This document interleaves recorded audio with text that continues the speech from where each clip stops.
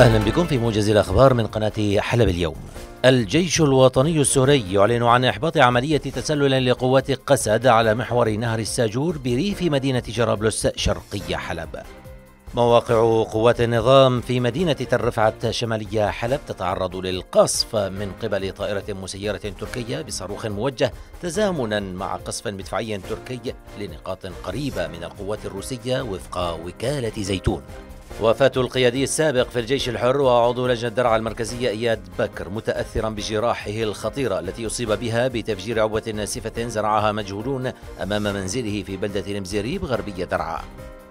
وأزمة مياه تعيشها السويداء بعد خروج تسعة آبار عن الخدمة في محطة الثعلة المغذية للمدينة بسبب الأعطال وفقا لشبكة السويداء 24 ووصول أكثر من 1900 طفل إلى هولندا دون ذويهم خلال العام الجاري بهدف طلب اللجوء.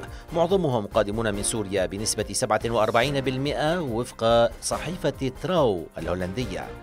السلطات الفرنسية تعتقل فرنسيا سوريا بتهمة التواطؤ في جرائم ضد الإنسانية وجرائم حرب للاشتباه بتزويده دمشق مكونات لتصنيع أسلحة كيميائية استخدمت في سوريا بحسب وكالة فرانس بريس.